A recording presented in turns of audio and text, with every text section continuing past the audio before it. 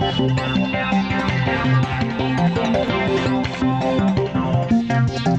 you.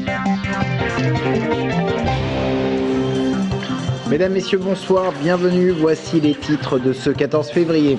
Un drame à Montrésor. Il a eu lieu ce week-end, mais on l'a appris aujourd'hui. Une dame qui venait de perdre son mari a passé la nuit de samedi à dimanche dehors dans son jardin, alors que les températures étaient largement en dessous de zéro. Elle serait morte de froid. Le bilan 2011 de la centrale nucléaire de Chinon, le bilan officiel, il témoigne du hausse de la production d'électricité de 25%. 26 milliards de kilowattheures ont été produits en 2011. Et puis aujourd'hui, jour de la Saint-Valentin, nous vous proposons d'apprendre à vous effeuiller, à vous déshabiller de façon sensuelle. Un stage à Tours permet de se perfectionner en la matière tout en gardant une note d'humour. On ouvre donc ce journal avec ce drame qui a eu lieu à Montrésor ce week-end. Samedi, alors qu'elle venait de perdre son mari après 60 années de mariage, une dame a passé la nuit dehors dans son jardin, visiblement perdue et choquée par la nouvelle. Les températures étaient descendues largement dessous de zéro. Elle serait décédée de froid. Les précisions, Michael Brifou. Retrouver le nez dans la neige. C'est ici, au bout de cette impasse, que vivait une dame âgée de 81 ans. La découverte a eu lieu ce dimanche et la victime était allongée dans son jardin. Un véritable choc pour les voisins. Très surpris de voir qu'il y avait les pompiers et puis les gendarmes qui étaient déjà rendus.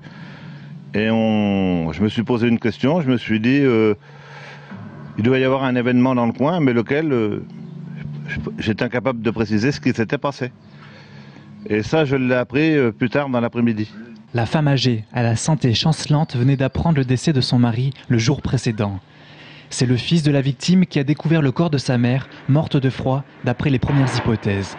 De son côté, la gendarmerie a écarté la piste criminelle et privilégie l'idée d'une mort naturelle, tout comme le maire. Ça a sûrement été un choc.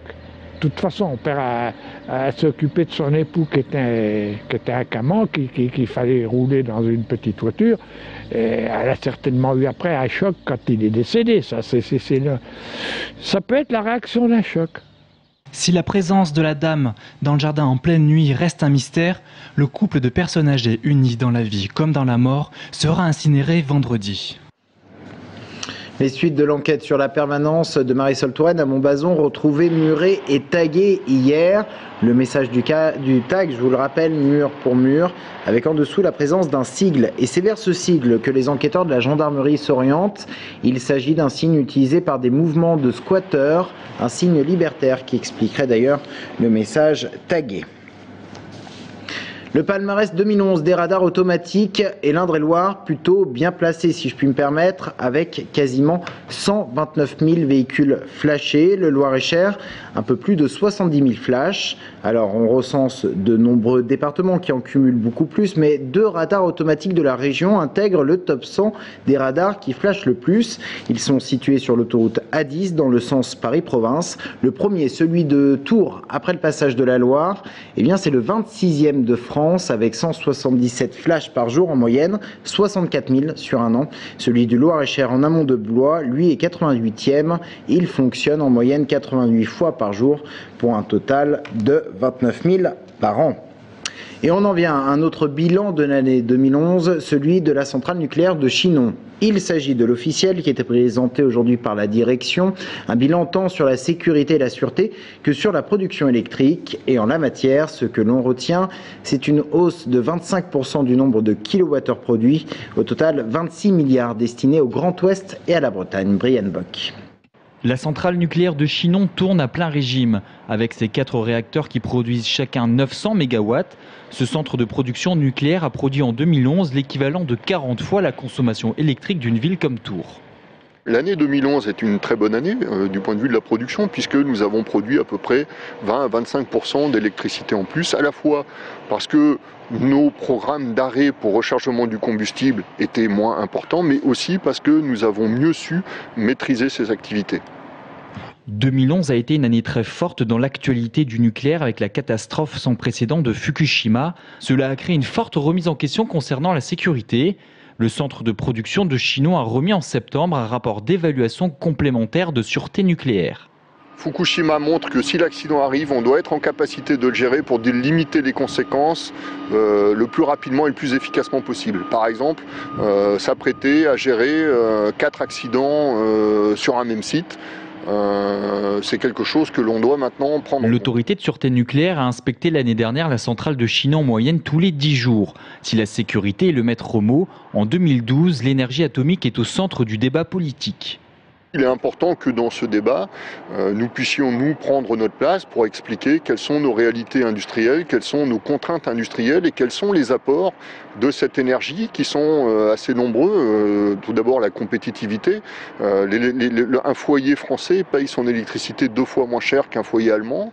Rentable et sans émissions de gaz à effet de serre, le nucléaire a ses avantages, mais aussi des risques à maîtriser. 2012 marquera l'arrivée sur le site de Chinon du LIDEC, un laboratoire d'expertise qui contribuera à la sûreté du parc des centrales nucléaires françaises et étrangères. L'heure tranquille, cette surface commerciale du quartier nouveau des Deux Lions à Tours suscite encore des interrogations quant à son développement futur. Après avoir subi le départ de deux enseignes de restauration en 2011, ce sont deux nouveaux magasins qui vont fermer prochainement, un magasin de sport et une boulangerie. Voilà de quoi relancer la polémique sur la viabilité du centre commercial. Gaël Poulain. Plus 6% de progression du chiffre d'affaires en 2011 et plus 9% sur le mois de janvier 2012. Des tendances qui n'auraient pas convaincu la direction nationale de Gosport. L'enseigne de l'heure tranquille fermera ses portes fin avril. Les 10 salariés seront reclassés en région centre. La faute, semble-t-il, à un lancement trop tranquille. Quant à la boulangerie Paul, qui baissera le rideau le 18 février, il s'agirait d'une question de stratégie. Paul a eu une, progression de chiffre d'affaires de 11% en 2011 et 12% sur le mois de janvier. La problématique de Paul, c'est que ne se situant pas dans la partie place centrale où se concentre l'offre de la restauration, Paul a souhaité euh, euh, ne pas se lancer finalement dans l'aventure à long terme. Mais ces deux fermetures annoncées participent à entretenir l'image d'un centre commercial qui peine à se lancer, même si ses gestionnaires martèlent les 10% de progression de chiffre d'affaires et de fréquentation en 2011.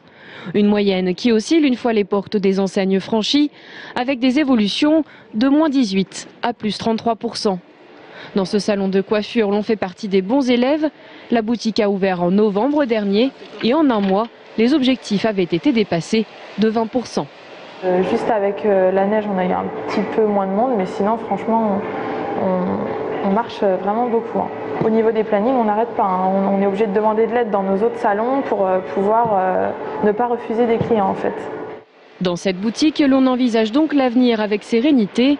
Et dans les allées de l'heure tranquille, l'on semble vouloir croire à la pérennité du centre. Une nouvelle enseigne devrait d'ailleurs ouvrir le 6 mars prochain. L'horizon qui fait rêver les commerçants, c'est l'arrivée du tramway en 2013, qui selon la direction du centre devrait faire bondir la fréquentation et le chiffre d'affaires de 30%. En sport, le Tour Volleyball se déplace ce soir à Nantes. Déplacement pour le compte de la 20e journée de Liga.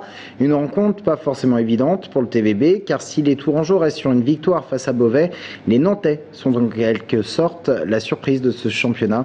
On fait le point sur les enjeux de ce match. Jean-Maurice Prin. Le calendrier du Tour Volleyball reste toujours aussi chargé.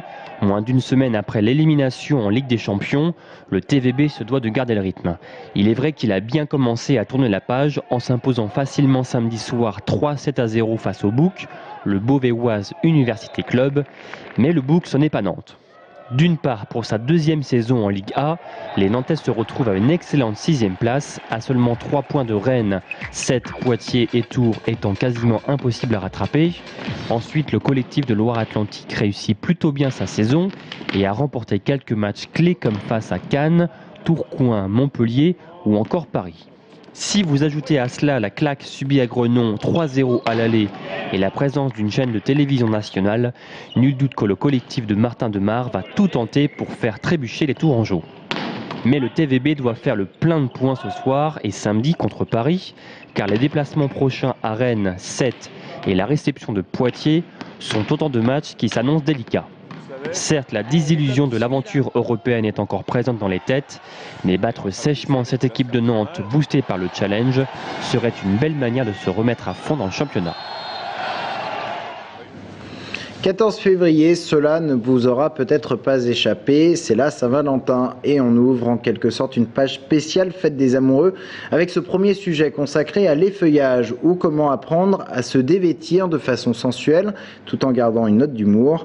À Tours, depuis septembre dernier, un stage permet de se perfectionner en la matière. C'est l'association Parapole Dance qui s'en charge. Cette même association, nous vous en avions parlé, qui propose des stages de pole dance et ces ateliers sont de plus en plus prisés par les femmes, cher Romain.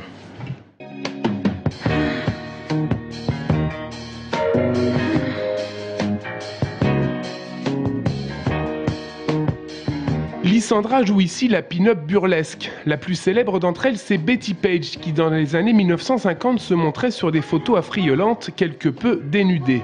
Marie, ou Lune de lait, son nom de scène de pin-up et ancienne stripteaseuse, apprend l'effeuillage, ou comment se dévêtir en mettant en scène son corps et ses formes.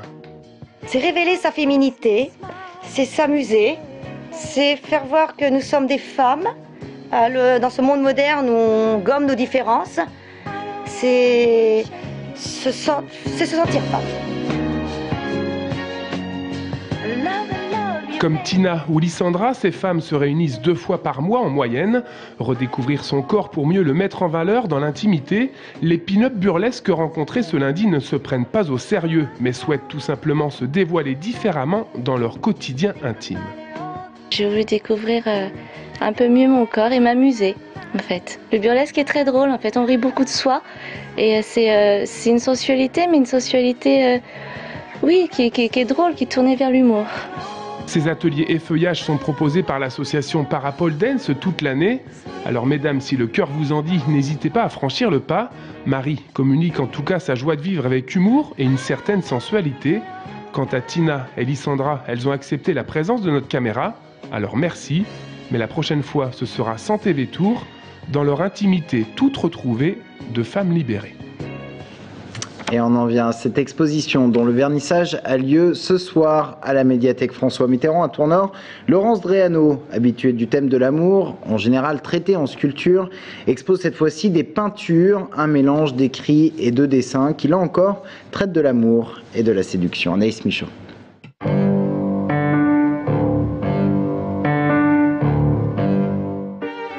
Ils ont de petites têtes parce qu'il faut oublier de réfléchir pour être heureux. Ils ont de gros ventres parce qu'ils sont emplis d'émotions. Ils ont les mains tendues vers l'autre parce que l'on n'est rien tout seul. Les personnages de Laurence Dréano, tout en rondeur, flottent dans un univers onirique où les papillons côtoient des poissons dans le ciel étoilé, où feuillage et arabesque tournoient sur la toile et où les mots s'invitent sur l'acrylique. Je pars des mots, c'est vraiment au départ de ma source d'inspiration. Euh, un petit mot, une phrase, euh, euh, même une petite phrase dans un livre d'enfant par exemple, et hop, ça déclenche chez moi l'imagination. Et après, croquis et peinture. Des mots comme point de départ, mais pas n'importe lesquels. Des mots d'amour, un thème cher à l'artiste depuis toujours. C'est un thème récurrent, c'est un thème de prédilection chez moi, l'amour. Alors l'amour au sens large, euh, comme je vous le disais tout à l'heure, l'amour euh, euh, d'un homme et d'une femme, mais l'amour maternel, l'amour de l'autre, l'amour vraiment au sens, large. Et puis ça fait du bien, ça a un côté bienfaisant, ça a un côté apaisant. Et je trouve que, ben voilà, même si c'est désuet, même si on trouve que c'est un peu passé, suranné, c'est ce qui me plaît, c'est un côté nostalgique aussi, et puis c'est ce dont vraiment on a besoin tous.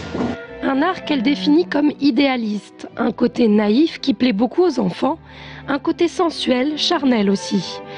Des œuvres qu'elle a choisi d'exposer à la médiathèque pour les rendre plus accessibles, une manière de démocratiser l'art et de diffuser plus largement son message, puisque ce n'est pas aujourd'hui que l'on va dire le contraire. Love is all we need. Et c'est donc jusqu'au 29 février à la médiathèque François Mitterrand. Et c'est à Tournord. Fin de cette édition. Merci de l'avoir suivi. Dans un instant, on parle transport avec le vice-président de la région Centre, Jean-Michel Baudin. Restez avec nous.